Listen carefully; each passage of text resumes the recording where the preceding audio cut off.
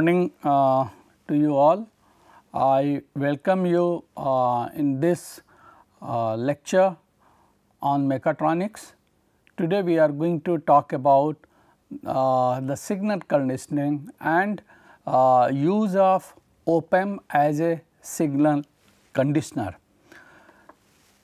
Uh, this block diagram essentially shows uh, uh, the important mechatronics components okay, uh, where uh, you can see that uh, usually uh, we have an say actuator okay, and there is a sensor all right uh, and uh, you have uh, input signal conditioning and interfacing.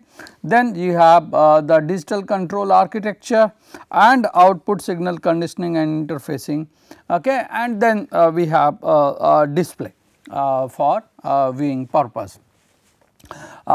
here as we have been discussing today um, out of these uh, mechatronics components, uh, I am going to talk about uh, the uh, input signal conditioning and interfacing. Okay. So, how the uh, sensor uh, signals can be interfaced to your microcontroller. Okay. so, let us look at what are the um, uh, basic um, uh, requirement for the signal conditioning. Okay. Uh, so, uh, the signal conditioning uh, uh, is needed because whatever signal we get from the sensor, this signal may be too small to be amplified. Okay. Um, or they may have certain interferences which need to be removed. Uh, many times this signal could be uh, a non-linear signal and uh, we may require um, uh, a linearization process uh, through uh, linearization of the signal through some means. Or the signal could be an analog signal okay and we know that the microcontroller uh, they take uh, only digital signal. So, we need to um, uh, convert this analog uh, signal and make it uh, as a digital signal or uh, if your signal is digital say you are getting from the microprocessor a digital signal you may require it to be made to the analog signal so that you can feed it to the actuator. Okay. Uh, so, uh, and uh, uh sometimes uh, the uh, signal could be say a resistance change and we want to convert it into a say current change signal okay or um, your signal could be a voltage change signal and we want to make it a current change signal. So, these may be the varieties of requirements for which we need to have the signal conditioning. Then as I said the signal uh, uh, uh, the signals uh, has to be uh, uh, sent to the microprocessor for um, okay for the processing purpose. Now we need um, to send these to send these signal to the microprocessor from the sensor we need to interface it. we require certain type of interfacing of the sensor signal with the microprocessor microprocessor. Okay. Uh, so, uh, what could be the simplest interface uh, as all of you know it should be a piece of wire uh, where we can just connect uh, your signal output port to the microprocessor input port. Okay. So, simple um, uh, simplest uh, interface could be a piece of wire okay. and um, um, uh, these interfaces um, uh, when we are going to do uh, for the signal conditioning and protection um, Uh, uh, uh, signal conditioning purpose the, the, there has to be uh, uh certain protection also. So, that uh, your abnormal signals are not able to damage your microprocessor okay. Uh, for example, these uh, microprocessor need to be uh, protected against excessive voltage or signal of say wrong polarity if by mistake it comes. So, the, there should be safety um, provisions in the interfacing to take care of uh, these uh, uh, wrong polarity and microprocessor requires um, as I said input to be a digital one. So, if your sensor output is analog say uh, a potentiometer giving you analog voltage, then uh, you require this analog signal to be converted into a digital signal okay. and uh, we may require um, uh, analog signal to be amplified before be, um, uh, being converted into a digital signal. So, all these type of tasks could be done uh, in the unit what we call it as the interfacing okay. Uh, so, uh, uh, in, in, the interfacing unit we can do all these tasks. there are certain more requirement. Even many times digital signal need to be conditioned for better quality. Means uh, if we do not have a better quality digital signal we may require it to be uh, um, uh, better condition it. Okay? And um, actuator might require analog signal so, uh, the digital output from microprocessor needs to be converted into the analog signal. For example, if you take a case of a say DC motor um, control, okay. So, uh, you need to give the DC motor an analog uh, signal okay. Uh, so, uh, uh, and uh, the digital signal uh, and the signal coming out from the microprocessor they are digital in nature. So, uh, we need the conversion from digital to analog okay um, and protection for any signal being inputted back to the microprocessor is also required. So, these are the things which um, are uh, taken care by the interfacing uh, units. Okay. Uh, now, uh, uh, uh, signal conditioning process may occur or the follow following process may occur during the signal conditioning. Okay. as I said protection to prevent damage to the next element okay. Uh, that is uh, uh, a microprocessor as a result of high voltage or current it may get damaged. Okay.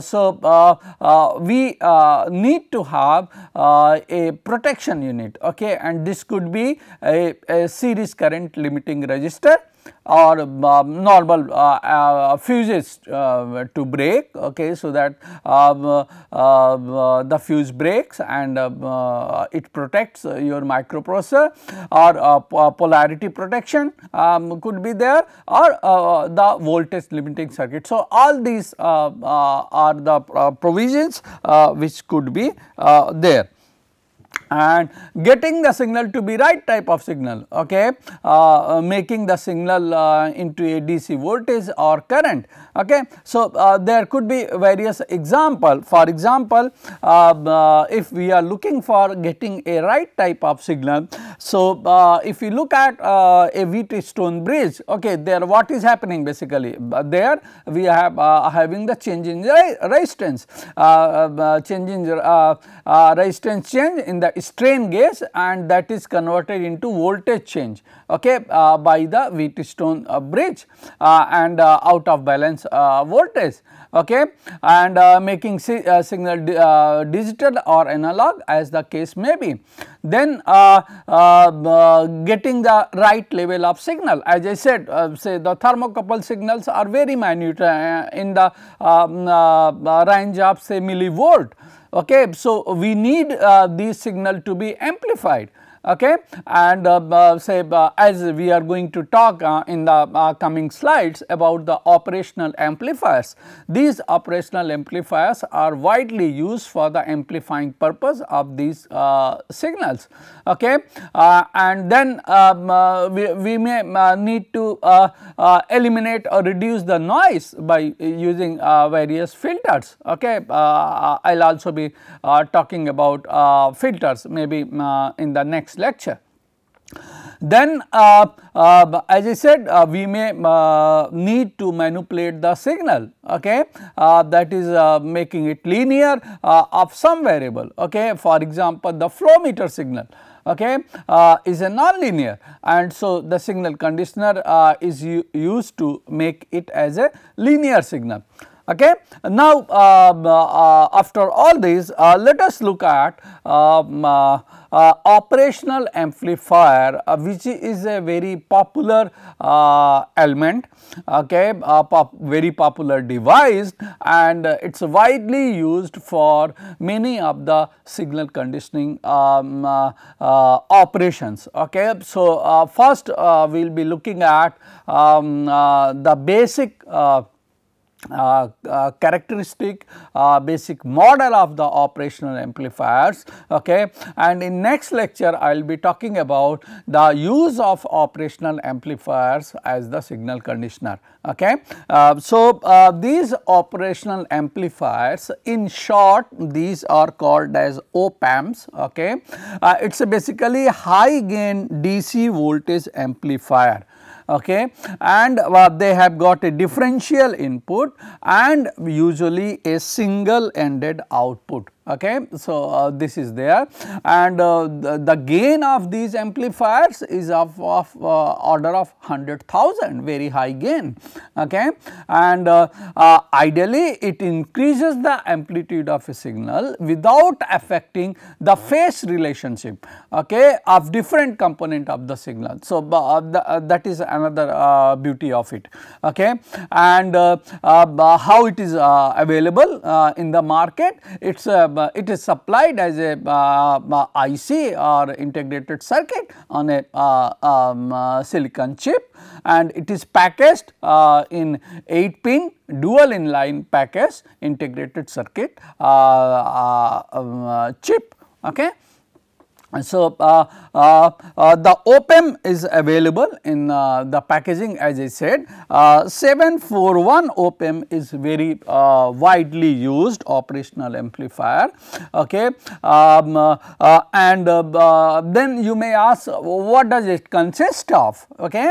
So, the internal design of the commercially available 741 IC consists of uh, what else transistors, okay, resistor and capacitor. So, these three components uh, uh, put in a combination basically constitutes the uh, 741 um, um, uh, uh, op-amp. Okay. Um, that is there and these op-amps can be combined with external discrete circuit component to create a wide variety of signal processing units, uh, uh, signal processing circuits as I said. Um, uh, so, uh, external discrete components here uh, the one which I am talking about here are basically um, you could have the resistances, you could have the capacitors okay, which are external to op amp circuit and by putting them in the different combinations you can get the different type of the signal conditioning.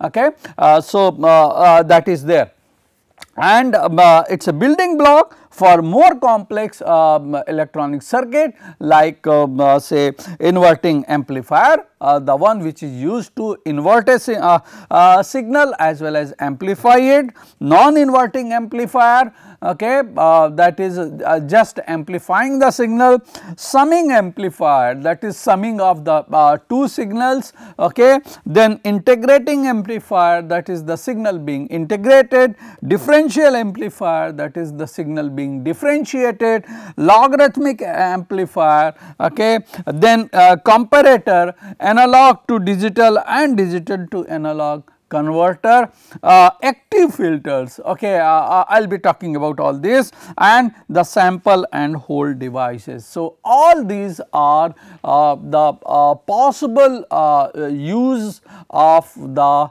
um, op amp. So, uh, this is how uh, uh, uh, it looks like basically as I said uh, dual uh, um,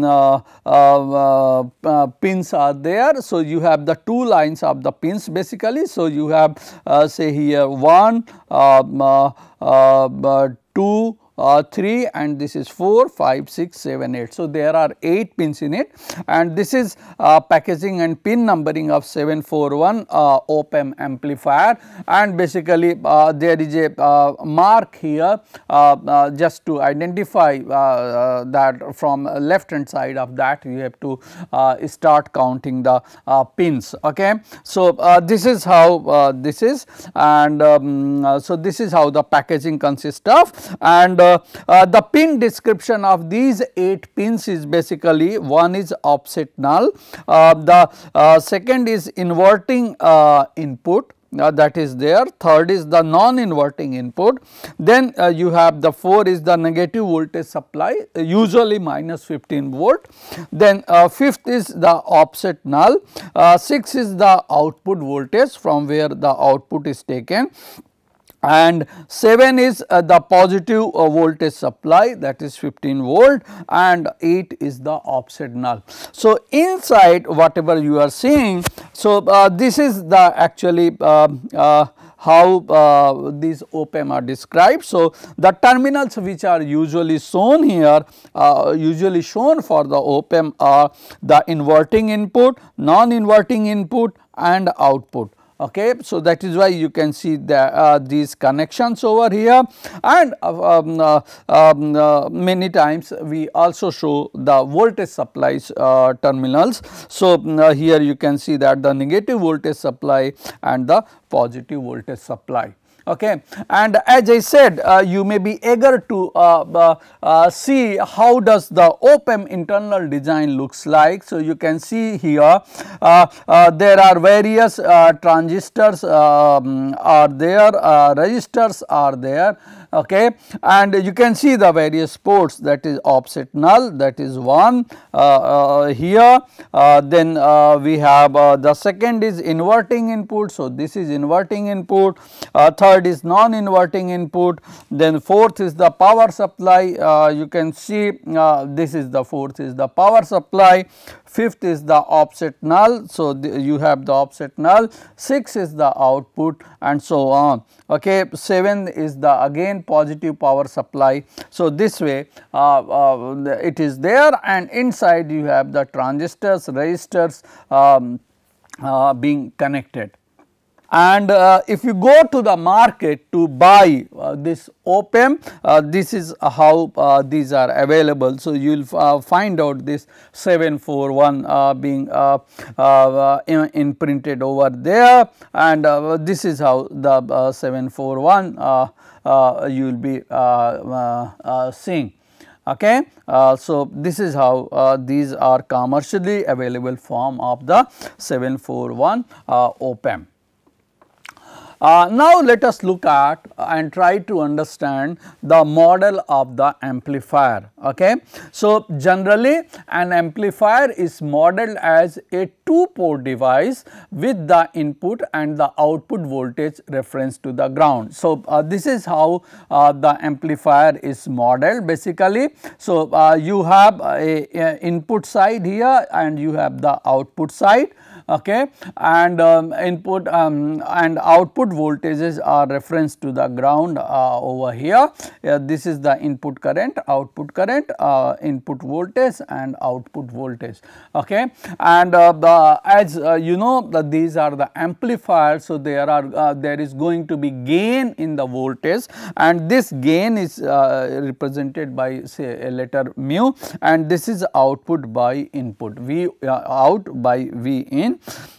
the input impedance is defined as uh, V in by I in that is the input impedance and most of these uh, amplifiers are designed to have very large input impedance so that very little current is drawn from the uh, input. Okay. So, as I will be talking about this is one of the uh, very important assumption uh, which uh, we also take in the modeling of these operational amplifiers. Okay. So, uh, the output impedance of amplifier is basically Z out is V out by I out uh, and it is a measure of how much the output voltage drops with the output current here the output drop uh, voltage drop is measured relative to the output voltage with no current okay? So this is how it is done. And uh, most amplifiers are designed to have very small output impedance so that the output voltage will not change much as the output current uh, changes. Now, now let us look at the ideal model of the amplifier operational amplifier. So, as I was saying, so this is the way it is uh, represented basically. So, you have the inverting input terminal uh, here uh, and you have the non-inverting input terminal and you have the output terminal over here. So, this is uh, how the symbolic uh, symbolically the op-amp uh, uh, represented okay and an ideal op-amp is um, a differential input okay single output amplifier. So, as you can see that there is a differential input and single output uh, is there uh, amplifier and this has got an infinite gain actually okay? And uh, voltages are uh, referred uh, to the common ground. And uh, as i said it's an active device. Okay? It's require connection to an external power supply as uh, i have talked about it. It's usually plus 15 volt and minus 15 volt.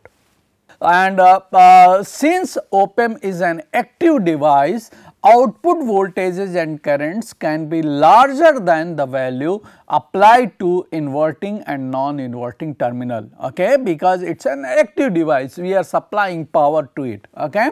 And uh, an op-amp circuit usually uh, have a feedback okay? So uh, from the output side uh, the, you have connection to uh, towards the input side. That is what we call it as a feedback.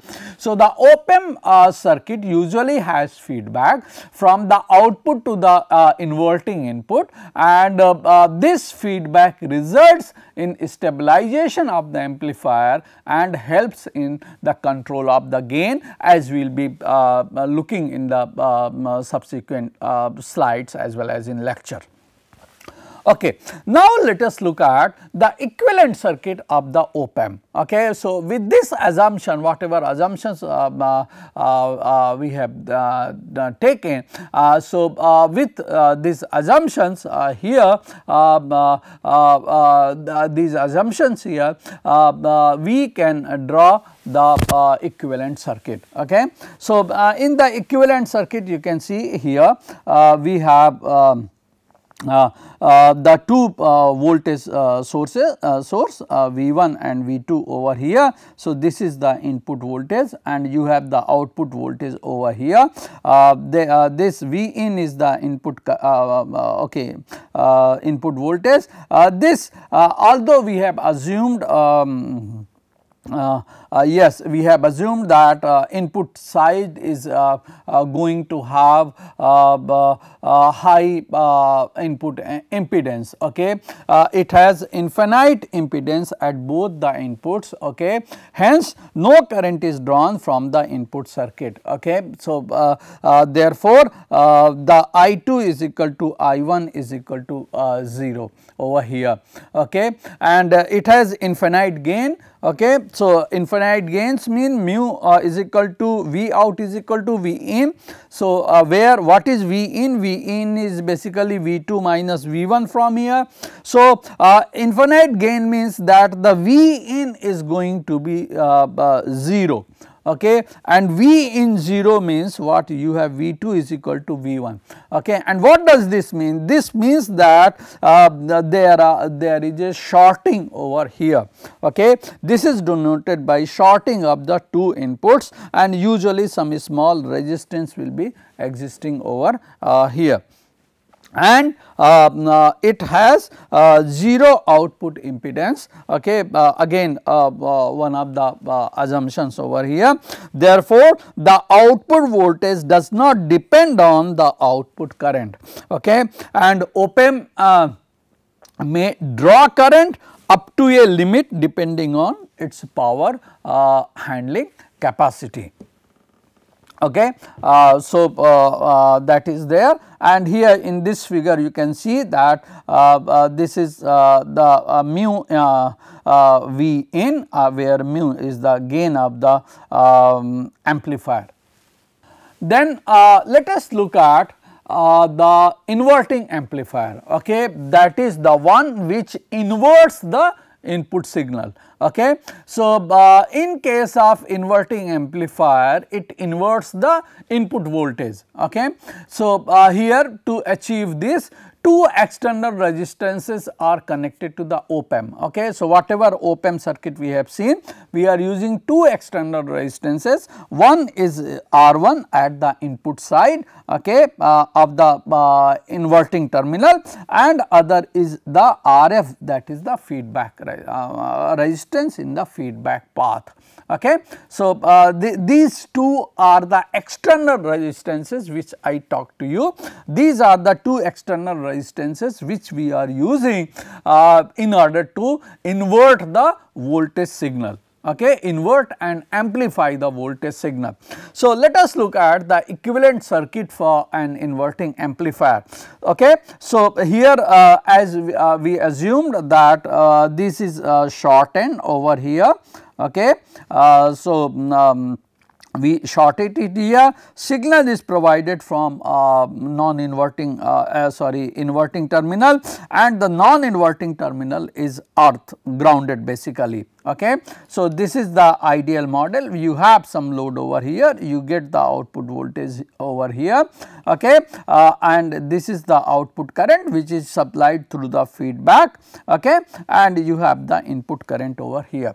Now, uh, let us take a point uh, say C over here.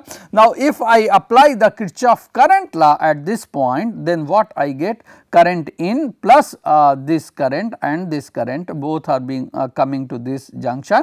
Okay. Um, so, um, uh, uh, I in plus I uh, out, out is equal to 0, no current can flow to the input of the op amp. Okay. So, that is why we are taking this as 0. So, from this I get I in is equal to minus of I output. Okay. And also the Vc uh, at this point the uh, voltage is 0 because the input are short at uh, C over here. So, the voltage across uh, this one R1 is going to be what? Uh, V1 this side Vc this side. So, V1 minus Vc is equal to I in R1 and since this Vc is 0 V1 is, uh, is equal to I in uh, R1. So, because this is uh, 0 over here. Now, let us look at the voltage across this uh, feedback resistor okay, RF. So, uh, I have V out and I have Vc. So, V out minus Vc is equal to I out RF over here.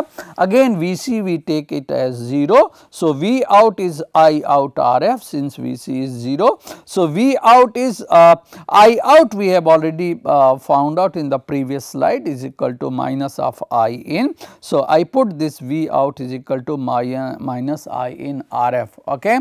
and we have already seen uh, that uh, uh V1 is equal to uh, I in R1. So, if I divide this this is what I get. So, here what we have got V out basically we have got V out is equal to minus a factor RF by R1 into V1 and V1 is my the input signal which I have supplied through the inverting terminal okay? And so uh, depending on what value of rf and r1 i am taking uh, i am going to get a gain of it. Okay? Uh, i am going to multiply this with this v1 so my v1 signal is get, going to be amplified by this particular ratio rf by r1 and this rf and r1 it's dependent on me because these are the external uh, uh, elements which I have put into the op amp circuit. Okay.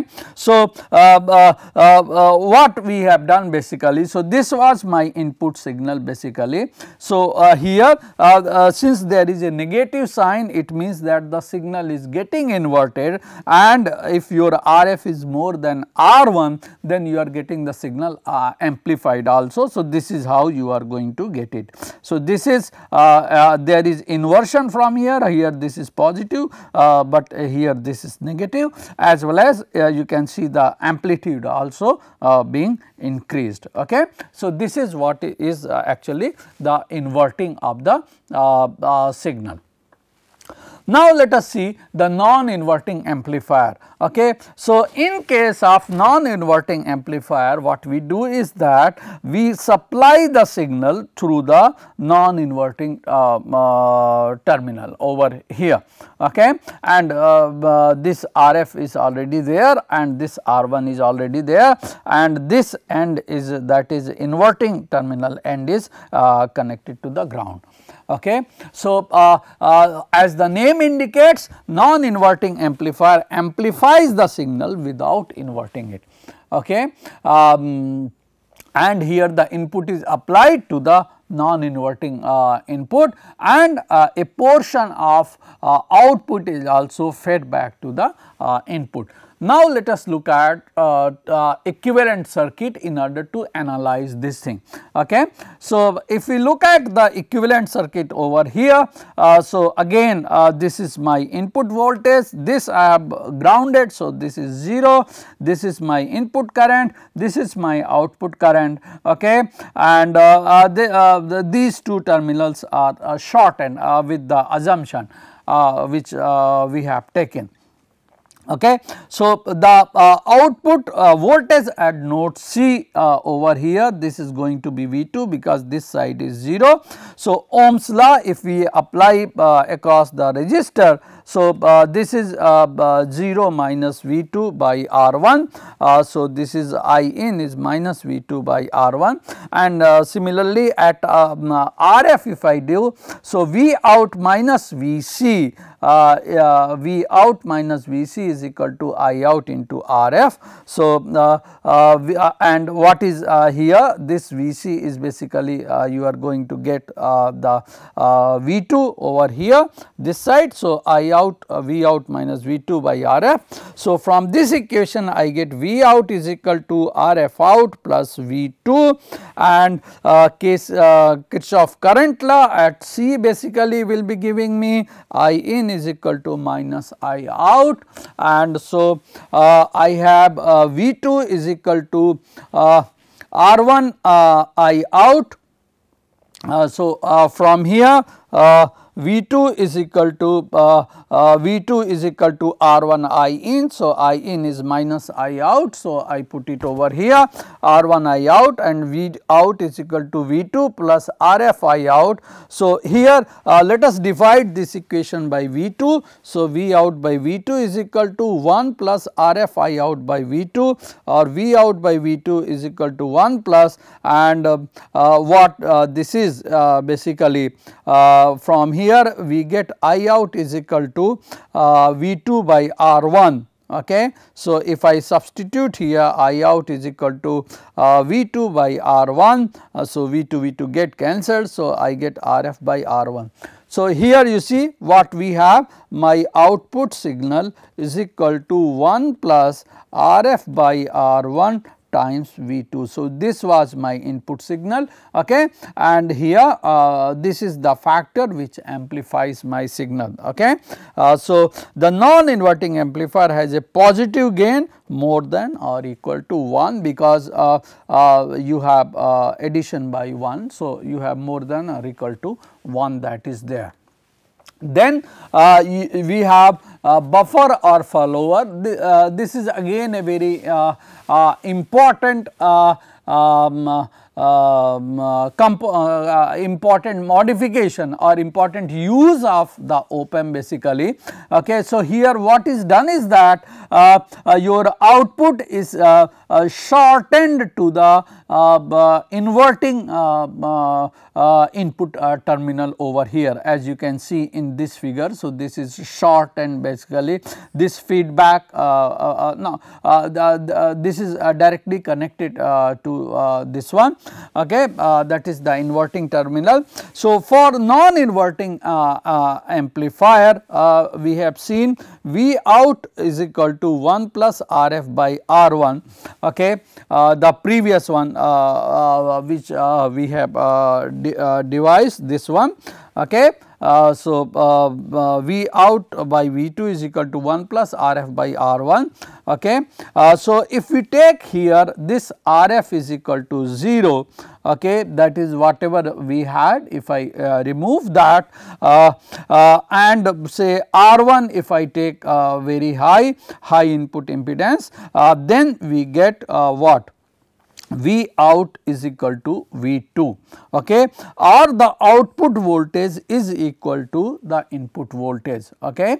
Uh, and uh, uh, here the high uh, input impedance isolates the source from the rest of the circuit okay, and this is what is called as a buffer. Uh, then uh, uh, uh in the amplifiers actually there is some error uh, what we call it as the offset voltage. Ideally if two inputs are shorted there should not be output okay, but actually some output is there okay. So to compensate this apply suitable voltage between the two term, uh, terminals and this is what we call it as the offset voltage and this is how the offset voltage correction is uh, provided and uh, uh, we talked about the ideal op-amp and its characteristic. We draw the uh, equivalent circuit of it. But uh, now let us look at how the real op-amp uh, looks like okay? And what are the uh, characteristic of the real op-amp okay? So the actual output deviates its characteristic from the ideal op-amp as i said okay? And real op-amp has very high input impedance. So, little current is drawn at its uh, uh, input. Uh, yes, open ideal open we said that it has infinite input impedance, but you do not have exact infinite value, but you have a very high uh, value and there is little voltage drop uh, voltage difference between input terminals uh, that is also there. Important uh, terminal characteristic of the real op-amp are uh, input impedance and maximum output uh, voltage. Uh, two other important characteristic of real op-amp are associated with its response to the square wave input. How does uh, the, the op-amp uh, responds to a square wave okay based on that uh, uh, the two other important characteristic of the uh, real op-amp are defined. Okay. So, when we apply a square wave input to an amplifier circuit, the output is not square actually. Okay. Uh, it exhibit a ramp from one level to the next okay. And in order to quantify the op-amp uh, step response which we get basically with the help of the square wave, two parameters are specified these are the slew rate and the rise time okay. So, uh, this is how the slew rate is defined basically. So, this is uh, the input the red color is actually indicating the input and the blue color is indicating the output okay. So, you can see that the output is not same as that of the input okay. So, this is your um, uh, um, uh, output okay. So, uh, how much is the uh, how much time this deviation is at in how much time it is uh, going to uh, peak in uh, take um, this input voltage and what is this del V. Okay. So, the slew rate is basically defined by this delta V divided by delta T okay. and it is the maximum time rate of change possible for the output voltage okay. and the other parameter as I said it is rise time and it is time required for the output to go grow from 10 percent to 90 percent of its final value. Okay? And it is specified by manufacturer for specific load and input parameters okay and uh, frequency response um, uh, is an important characteristic of real op-amp. Ideal op-amp uh, exhibits uh, infinite bandwidth. Okay. So, uh, we say that uh, it is suited for any frequency range, but actually it is not so. A real op-amp has a finite bandwidth which is a function of the gain established by the external components the I mean whatever external components we are going to use along with the op-amp. So, to quantify the dependence of bandwidth on gain, another definition what we call it as the gain bandwidth product that is used and the gain bandwidth product of op-amp is actually the open loop gain into the bandwidth uh, at that particular uh, gain. Okay. So, this is the typical uh, characteristic, uh, typical op-amp uh, characteristic if we plot frequency versus open loop voltage gain so, uh, this is the uh, curve which uh, you are going to uh, get op-amp uh, and closed loop uh, response this is what we are going to get. Okay. So, the typical op-amp exhibits a linear log log relationship between the open loop gain and the frequency with the op-amp gain decreases with the input signal frequency. So, you can see that as the signal frequency increases this gain uh, decreases and uh, higher quality op-amp have larger um, um, uh, GBPs. Okay.